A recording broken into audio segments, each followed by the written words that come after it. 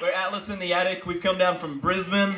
Say, that looks fucking good for 2000. We uh yeah, we've come a long way. We played Sydney last night as the first gig of our East Coast tour. Our first ever East Coast tour, first shows outside of Brisbane. It's really good to be here for the second show. Thank you all so much for being here.